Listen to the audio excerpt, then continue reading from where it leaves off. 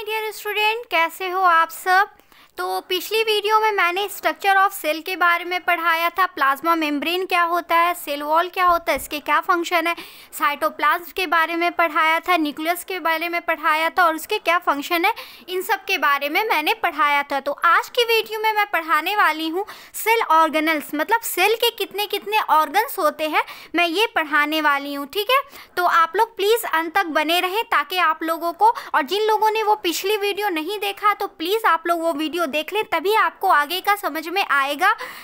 तो मैं time waste ना करते हुए अपना चैप्टर स्टार्ट करती हूँ। तो आज मैं स्टार्ट करती हूँ सेल ऑर्गन ठीक है? सेल ऑर्गेनल्स ठीक है? There are tiny structure in the cytoplasm cytoplasm में एक बहुत ही टीनी स्ट्रक्चर होता है साइटोप्लाज्म में। This structure are called cell organelles इसी इसी स्ट्रक्चर को क्या कहते हैं? सेल ऑर्गेनल्स मैं आप लोगों को दिखाती हूँ। इस पिक्चर में आप लोग देखिए। ये जो आप लोग ये देख रहे हैं, ये साइटोप्लाज्म है और इसमें टीनी टीनी जो है, इस टीनी ये माइट्रोकॉन्ड्रिया है वैक्यूल है न्यूक्लियस है और फिर बहुत सारा चीज़ है। तो ये जो टीनी स्ट्रक्चर है, इसमें बहुत सारा तो इसी को क्या कहते हैं? ऑर्गन कहते हैं, ठीक है? माइट्रोकॉन्ड्रिया ऑर्गन हो गया, ठीक है? तो आप लोग देख सकते हैं, मैंने आप लोगों को दिखा दिया। तो this structure all called cell organ is organelles तो इस स्ट्रक्चर को क्या कहते हैं? सेल ऑर्गेनल्स कहते हैं। Cell organelles are the organs of the cell as the organ perform different function in the body the cell organelles organelles also perform different function in the cell ठीक है? तो जैसे कि हम लोगों के बॉडी का जो अलग अलग जो पार्ट होता है अलग अलग ऑर्गन जो होता है, वो अलग अलग फ़ंक्शन परफॉर्म करता है। जैसे हार्ट क्या परफॉर्म करता है? वो ब्लड को पंप करता है। ब्रेन क्या करता है? ब्रेन जो है वो सिग्नल देता है मैसेज देता है। तो और ये स्टोमिक क्या करता है? स्मॉल इंटेस्टाइन क्या करता है? वो सब खाने को डाइजेस्ट करता है। तो इसी तरह से अलग अलग फ़ंक्शन होता है हमारे बॉडी के अलग अलग ऑर्गन का। तो इसी तरह से हमारे सेल में जो ऑर्गन्स होते हैं, उसके जो उसका भी अलग अलग फ़ंक्शन होता है। हर एक ऑर्गन का अलग अलग फ़ंक्शन होता है ठीक है? हो, होप करते हैं कि आपको ये बात क्लियर हो गई होगी ठीक है? Some important cell organelles are mitochondria endoplasmic reticulum Golgi apparatus Golgi's bodies ribosome lysosome centrosome and plastid कितना ज़्यादा कितना सारा सेल ऑर्गन है? एक है mitochondria endoplasmic reticulum Golgi apparatus ribosome lysosome centrosome and plastid ये सब का अलग अलग फ़ंक्शन होता है। ये जितने भी सेल के अंदर ऑर्गन्स है, इसका क्या होता है? सबका अलग अलग फ़ंक्शन होता है, ठीक है? अब आते हैं प्लास्टिड में। प्लास्टिड क्या है? These are these are found only in plant cells तो प्लास्टिड जो है, वो सिर्फ़ प्लांट सेल में पाया जाता है वो एनिमल सेल में नहीं पाया जाता। जैसे माइट्रोकॉन्ड्रिया वो प्लांट सेल में भी पाया जाता है एनिमल सेल में भी पाया जाता। है लेकिन प्लास्टिड जो है, वो सिर्फ़ प्लांट सेल में पाया जाता है। There are three types of plastid तीन टाइप का प्लास्टिड होता है। एक होता है क्लोरोप्लास्ट एक होता है क्रोमोप्लास्ट एक होता है ल्यूकोप्लास्ट ठीक है? तीन टाइप का प्लास्टिड होता है कौन कौन एक होता है क्लोरोप्लास्ट एक होता है chromoplast and third is plast ठीक है? अब मैं आती हूँ क्लोरोप्लास्ट क्लोरोप्लास्ट क्या होता है? देयर आर ग्रीन प्लास्टिड ये दीज आर ग्रीन प्लास्टिड ये कौन सा प्लास्टिड होता है? ग्रीन प्लास्टिड होता है. They contain a green pigment और ये कंटेन क्या करता है? ग्रीन पिगमेंट कंटेन करता है. आप लोग ये देख सकते हैं, ठीक है? यहाँ पे इनर मेम्ब्रेन है. ये मैट्रिक्स ऑफ़ स्टोमा है. आप लोग ये पिक्चर आप लोग उतार भी सकते हो. ऑटर मेम्ब्रेन है. ये थाइलोकाइड है. ये राइबोसोम है, ठीक है? अब तो ये जो ग्रीन पिगमेंट है वो क्या कंटेन करता है? ये कंटेन करता है क्लोरोफिल आप लोग जानते हैं क्लोरोफिल कंटेन करता है? They trap solar energy and help in the photosynthesis और ये क्या करता? है ट्रैप करता है सोलर एनर्जी जो कि हेल्प करता है फोटोसिंथेसिस में. क्योंकि सोलर एनर्जी जब हेल्प होगा, जब आएगा तभी ना फोटोसिंथेसिस का प्रोसेस होगा. तो हम लोग, हमने क्या बताया कि प्लास्टिड जो है प्लास्टिड के तीन पार्ट्स होते हैं. थ्री टाइप का प्लास्टिड होता होता है. First is chloroplast second is chromoplast and third is leucoplast chloroplast क्या होता है? ये ग्रीन प्लास्टिड होता है और ये क्या कंटेन करता है? ग्रीन पिगमेंट कंटेन करता है, जिसको क्या कहते हैं? क्लोरोफिल कहते हैं। जिसको क्या कहते हैं? क्लोरोफिल कहते हैं। और ये क्लोरोफिल क्या करता है? ये ट्रैप करता है सोलर एनर्जी जिससे हेल्प होता है। क्या हेल्प होता है? फोटोसिंथेसिस के प्रोसेस में इसका हेल्प होता है, ठीक है? क्योंकि सोलर सन की एनर्जी से ही ना फोटोसिंथेसिस का प्रोसेस होता है। अब आते हैं क्रोमोप्लास्ट क्रोमोप्लास्ट क्या है? These are colour plastid chromoplast क्या है? ये कलर प्लास्टिड है ठीक है? They contain yellow and red pigments ये कौन कंटेन करता है? ये कैसा पिगमेंट कंटेन करता है? येलो और red pigment they impart colour to flower and fruits ये इम्पार्ट करता है ये कलर देता है फ्लावर और फ्रूट को। This help attract insect for pollination और ये क्या हेल्प करता है? इंसेक्ट को पॉलिनेशन uh, uh, जो प्रोसेस होता है ये हेल्प करता है कि ताकि कोई भी चीज़ खूबसूरत होती तभी तो अट्रैक्ट होता है। इसीलिए जैसे फ्लावर खूबसूरत होता है तो वहाँ पे इंसेक्ट्स आके बैठता है, तभी क्या होता है? पॉलिनेशन का प्रोसेस होता है, ठीक है? होप करते हैं कि आपको यहाँ पर समझ में आएगा। जो भी कलर होता है, जैसे ये रोज़ का जो कलर होता है, वो रेड होता है तो वो कौन पिगमेंट देता है? क्रोमोप्लास्ट के वजह से। आप लोगों को क्वेश्चन आएगा कि जैसे फल का कलर और ये फ्लावर का कलर किस वजह से वो रेड और रेड होता है ऑरेंज कलर ये सब किस वजह से होता है? तो आप लोग क्या बोलोगे? क्रोमोप्लास्ट की वजह से उसका जो कलर होता है, वो येलो रेड ये सब होता है, ठीक है? अब आते हैं ल्यूकोप्लास्ट ल्यूकोप्लास्ट क्या है? दीज आर कलरलेस प्लास्टिड ये क्या होता है? कलरलेस प्लास्टिड होता है, ठीक है? They are generally found in seed और ये कहाँ पाया जाता है जनरली सीड में पाया जाता है। They store food in the form of starch और ये क्या करता है? स्टोर करता है फ़ूड को किस फॉर्म में? स्टार्च के फॉर्म में like like in the cell of the potato fat and protein ठीक है? तो ये क्या करता है? ल्यूकोप्लास्ट का काम क्या करता है? ये सीड में पाया जाता है, बीज में पाया जाता है। और ये क्या करता है? स्टोर करता है फ़ूड को किस फॉर्म में? स्टार्च के फॉर्म में स्टोर करता है, ठीक है?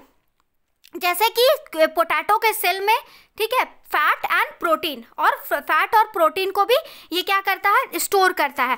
तो मैंने क्या पढ़ाया आप लोगों को? फिर एक बार मैं रिकॉल कर देती हूँ। प्लास्टिक प्लास्टिक के तीन पार्ट्स होते हैं। First is chloroplast second is chromoplast and leucoplast chloroplast क्या करता है? ये क्या करता है? इसके अंदर ग्रीन पिगमेंट होता है। इसकी वजह से ग्रीन कलर होता है। पत्ते का पत्ते का ग्रीन कलर होता है। और ये ट्रैप क्या करता है? सोलर एनर्जी को ट्रैप करता है, जो कि हेल्प करता है फोटोसिंथेसिस के प्रोसेस में। ठीक है? क्रोमोप्लास्ट की वजह से फल का कलर होता है, फूल का कलर वो होता है क्रोमोप्लास्ट की वजह से, ठीक है? तो ये क्या करता है क्रोमोप्लास्ट जो है कलर देता है, ठीक है?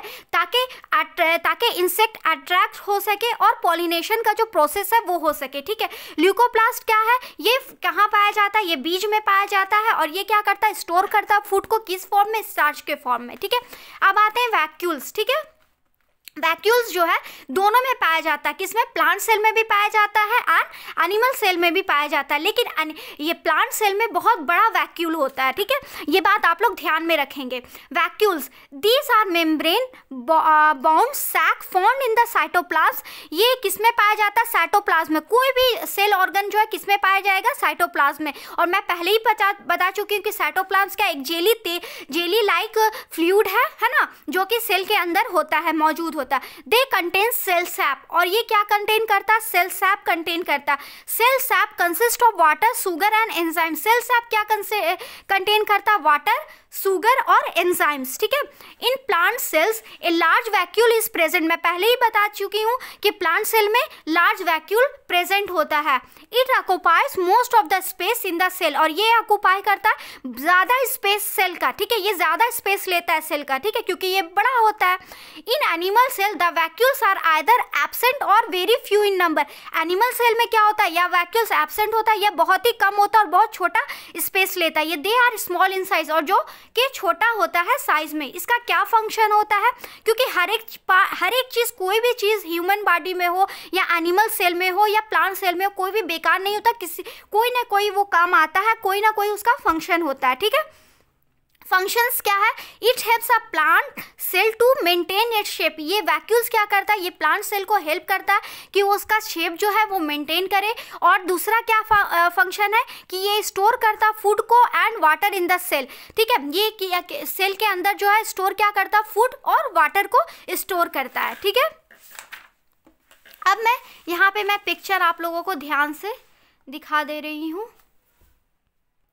तो आप लोग ये देख सकते हैं, ये स्ट्रक्चर है, किसका? प्लांट सेल का स्ट्रक्चर है, ठीक है? तो यहाँ पे क्या है? राइबोसोम है। यहाँ पे क्या है? न्यूक्लियर मेम्ब्रेन है। न्यूक्लियर मेम्ब्रेन है, जो कि न्यूक्लियस के बाहर जो एक मेम्ब्रेन होता है, उसको न्यूक्लियर मेम्ब्रेन कहते हैं। यहाँ पे क्या है? न्यूक्लोलस है, ठीक है? न्यूक्लोलस है। यहाँ पे क्या है? न्यूक्लियो न्यूक्लियोप्लाज्म क्या है? जो कि एक फ्लूड है, ठीक है? न्यूक्लियोप्लाज्म है जो न्यूक्लियस के अंदर होता है, ये क्या है? एक फ्लूड है, ठीक है?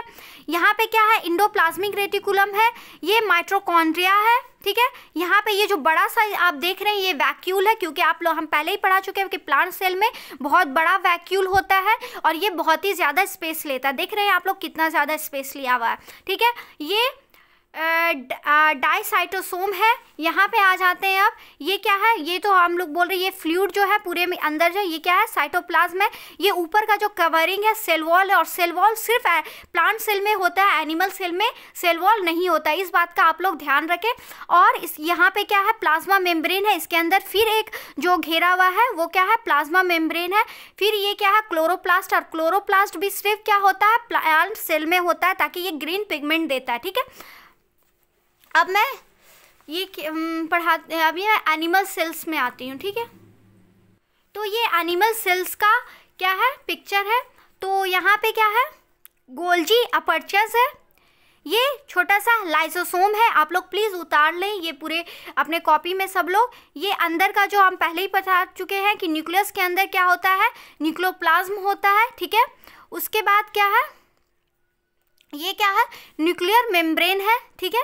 ये अंदर में न्यूक्लोलस है। न्यूक्लियस के अंदर क्या होता है? न्यूक्लोलस होता है।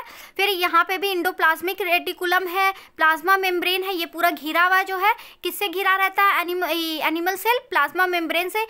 फिर लाइसोसोम है सेंट्रोसोम है साइटोप्लाज्म है।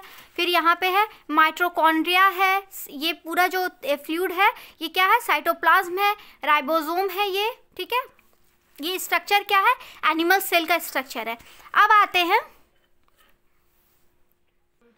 तो अब आते हैं कि क्या डिफरेंस होता है प्लांट और एनिमल सेल्स में? क्या डिफरेंस पाया जाता है? ठीक है?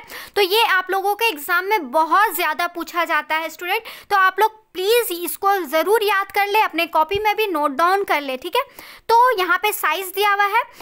यहाँ ये प्लांट सेल है और ये एनिमल सेल का, ठीक है? अब मैं आपको डिफरेंस बताती हूँ। Plant cell are larger in size plant cell क्या होता है? लार्जर साइज़ में होता है। जी, जबकि ये एनिमल सेल जो होता है, वो स्मॉलर होता है प्लांट सेल से, ठीक है? प्लांट सेल में सेल वॉल प्रेजेंट होता, मैं पहले ही बता चुकी एनिमल सेल में सेल वॉल नहीं प्रेजेंट होता, एबसेंट होता। Cytoplasm is not dense and granular cytoplasm जो होता, प्लांट सेल में ज़्यादा गाढ़ा नहीं होता, ज़्यादा डेंस नहीं होता, गहरा नहीं होता, जबकि ये एनिमल सेल में साइटोप्लाज्म डेंस भी होता है एंड ग्रैनुलर होता है।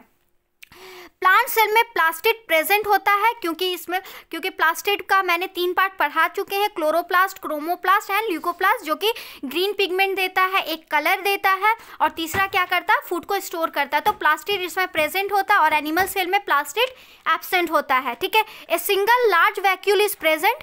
Plant cell में क्या होता है कि लार्ज वैक्यूल प्रेजेंट होता है मैं पहले ही बता चुकी, प्लांट सेल में क्या होता है ये लार्ज वैक्यूल प्रेजेंट होता है, लेकिन एनिमल सेल में क्या होता है या तो एबसेंट होता है जनरली एबसेंट होता, अगर प्रेजेंट भी होता तो बहुत ही छोटा होता है साइज़ में वैक्यूल्स और फॉर्म ठीक है? अब मैं आती हूँ अब आते हैं नया टॉपिक सेल डिवीज़न में। कैसे सेल डिवीज़न डिवीज़न होता है? New cell arise from pre existing cell हम लोग जानते हैं कि न्यू सेल जो है, वो अराइज होता है किससे? प्री एग्जिस्टिंग सेल से। पहले जो एक सेल बना रहता है उसी से नया सेल बनता है, ठीक है? A parent cell divides and forms two और मोर मोर डॉटर सेल एक पेरेंट सेल जो है, वो डिवाइड होता है, जिससे कि दो या दो से ज़्यादा डॉटर सेल बनता है, ठीक है? ये प्रोसेस को क्या कहते हैं? सेल डिवीज़न कहते हैं। इस प्रोसेस को क्या कहते हैं? Cell division division the daughter cell grow divide and again and form new cell इसी तरह से डॉटर सेल भी क्या करता है? वो ग्रो होता है, इसी तरह से बड़ा होता है, फिर डिवाइड करता है, इसीलिए फिर से न्यू सेल बनता है। इसी तरह से ये प्रोसेस चलता रहता है, ठीक है? Why new cell need to be produce क्यों? ज़रूरत क्यों है नए सेल का प्रोड्यूस होने का? New cells are needed for the growth new cells क्या है? ग्रोथ के लिए नीड होता है ठीक है? हम लोग जैसे बच्चा पैदा होता है तो आप लोग देखते हैं कि बहुत ए, तो ए, ये कैसे बढ़ता है? क्योंकि ये सेल जो डिवीज़न होता है इसी तरह से सेल डिवाइड होकर बच्चा फिर बड़ा हो जाता है। क्या हो रहा है कि बच्चा एक छोटा सा गोद में बिस्तर पर एकदम छोटा सा रहता है फिर वो धीरे धीरे बड़ा बन जाता है। तो वो कैसे बनता है? क्योंकि न्यू सेल का वो न्यू सेल डिवाइड होते रहता है इसी तरह से सेल बनते रहता है और उसका ग्रोथ होता है रिपेयर होता है and replacement of cell and रिप्रोडक्ट production तो न्यू सेल का क्यों ज़रूरत होता है? क्योंकि न्यू सेल जो है वो ग्रोथ में हेल्प करता है रिपेयरिंग करता है। अगर कोई सेल खराब हो गया तो दूसरा सेल तो वो रिपेयर तो वो क्या होता है? रिपेयर हो जाता है अपने आप। रिप्लेसमेंट होता है कि न, एक न, पुराना सेल गया तो रिप्लेसमेंट हो गया नए सेल्स का एंड रिप्रोडक्शन ठीक है? और रिप्रोडक्शन में भी हेल्प होता है ठीक है? So cell division is necessary for the existing existence of all living organism इसीलिए सेल डिवीज़न नेसेसरी है किसका? एग्जिस्टिंग एग्जिस्टेंस क्यों? क्योंकि अगर सेल डिवीज़न नहीं होगा तो हम लोग रिप्रोडक्शन नहीं होगा, हम लोग बढ़ेंगे नहीं। तो इसीलिए सेल डिवीज़न बहुत नेसेसरी है लिविंग ऑर्गेनिज्म के लिए, ठीक है? उसके एग्जिस्टेंस के लिए। अब मैं कुछ क्वेश्चंस कर लेती हूँ। आप लोग प्लीज़ कुछ, ताकि मैं समझूँगी कि आप लोगों को बहुत अच्छे तरीके से समझ में आया होगा। ठीक है? आप लोग अपने मन में आंसर रखिएगा और मेरे आंसर से ज़रूर मिल, मिलाइएगा, ठीक है? अब आते हैं, कुछ हम करेक्ट कर लेते हैं। Tick tick the correct option. A typical cells consist of एक टिपिकल सेल क्या क्या कंसिस्ट करता है? सेल मेम्ब्रेन तो सेल मेम्ब्रेन एंड साइटोप्लाज्म ठीक है? Cytoplasm and nucleus cell membrane and nucleus cell membrane cytoplasm and nucleus तो typical cell क्या क्या क्या कंसिस्ट करता है? तीनों सेल मेम्ब्रेन साइटोप्लाज्म और न्यूक्लियस तीनों कंसिस्ट करता है, ठीक है? A cell membrane is a cell membrane क्या है? सिलेक्टिवली परमिएबल मेम्ब्रेन है या परमिएबल मेम्ब्रेन है या फ्रीली परमिएबल मेम्ब्रेन है? या या नॉन परमिएबल है, ठीक है? तो सेल मेम्ब्रेन क्या है? सेलेक्टिवली परमिएबल मेम्ब्रेन है, क्योंकि सेल मेम्ब्रेन जो है, वो सेलेक्ट करके ही अंदर आने देता है और सेलेक्ट करके ही अंदर बाहर जाने देता है, ठीक है? तो सेल मेम्ब्रेन को क्या कहेंगे? सेलेक्टिवली परमिएबल मेम्ब्रेन कहेंगे। Which of the following is not found only in a plant cell क्या जो नहीं फाउंड सिर्फ़ प्लांट सेल में ही पाया जाता है, ठीक है? तो सेल मेम्ब्रेन एनिमल सेल में भी पाया जाता है प्लांट सेल में भी पाया जाता है। सेल वॉल ये सिर्फ़ और सिर्फ़ किसमें पाया जाता है? प्लांट से ये प्लांट सेल में पाया जाता है। ये एनिमल सेल में नहीं पाया जाता क्योंकि साइटोप्लाज्म भी प्लांट सेल में भी पाया जाता है एनिमल सेल में भी पाया जाता है न्यूक्लियस भी प्लांट सेल में भी पाया जाता है और किसमें पाया जाता? है एनिमल सेल में भी पाया जाता। है तो क्या नहीं पाया जाता? तो सेल वॉल नहीं पाया जाता है। सिर्फ़ एनिमल सेल में नहीं पाया जाता। सिर्फ़ और सिर्फ़ किसमें पाया जाता? है प्लांट सेल में पाया जाता है। ठीक है? अब फोर्थ में आते हैं। Which of this controls all the activities of the cell ठीक है? कौन कंट्रोल करता है? सबसे एक्टिविटी सारा एक्टिविटी सेल का कौन कंट्रोल करता है? तो सेल मेम्ब्रेन ये तो सिर्फ़ सेलेक्टिवली परमिएबल मेम्ब्रेन है। सेल वॉल भी नहीं करता साइटोप्लाज्म भी नहीं करता। तो कौन करता? न्यूक्लियस जो है पूरे, क्या करता, ये कंट्रोल करता, जितना भी एक्टिविटी सेल का होता है तो कौन कंट्रोल करता? है न्यूक्लियस कंट्रोल करता। है which of the following occupies most of the space in a plant cell कौन सबसे ज़्यादा प्लांट सेल में ऑक्यूपाई करता है स्पेस तो मैंने पहले ही बता दिया कि वैक्यूल जो है, सबसे ज़्यादा क्या, कौन ऑक्यूपाई करता? है प्लांट सेल में वैक्यूल सबसे ज़्यादा प्लांट सेल में स्पेस लेता है, ठीक है? What does a vacuole contain vacuole में क्या होता है? सेल सैप होता है कि पिगमेंट होता है विटामिन होता है कि बोथ ए एंड बी तो वैक्यूल में क्या होता है? सिर्फ़ और सिर्फ़ सेल सैप होता है ठीक है? होप करते हैं। और ये सेल सेल सैप में क्या होता है? वाटर होता है शुगर होता है और एंजाइम्स होता है, ठीक है? होप करते हैं कि आप लोगों को मेरा वीडियो समझ में आया होगा। अगर कुछ भी आप लोगों को कन्फ्यूज़न हो स्टूडेंट तो आप लोग प्लीज़ कमेंट करके बोल दें और होप करते हैं कि आपको मेरा वीडियो अच्छा लगा होगा। कल कल मैं न्यू चैप्टर पढ़ाऊँगी। कल मैं पढ़ाऊँगी आप लोगों को डाइजेस्टिव सिस्टम कल मैं ये वाला चैप्टर पढ़ाऊँगी तो आप लोग प्लीज़ कल भी आप लोग मेरा वीडियो ज़रूर देखें। होप कर thank you for watching my video